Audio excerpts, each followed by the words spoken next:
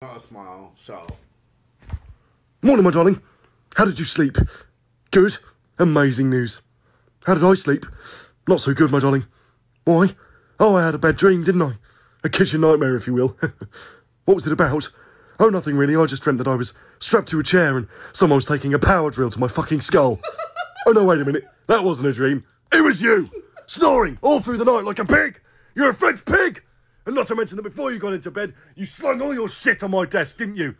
You dirty little bitch! Take your vape and your crystals and fuck off! Oh my! Hey, yo, no, you know what?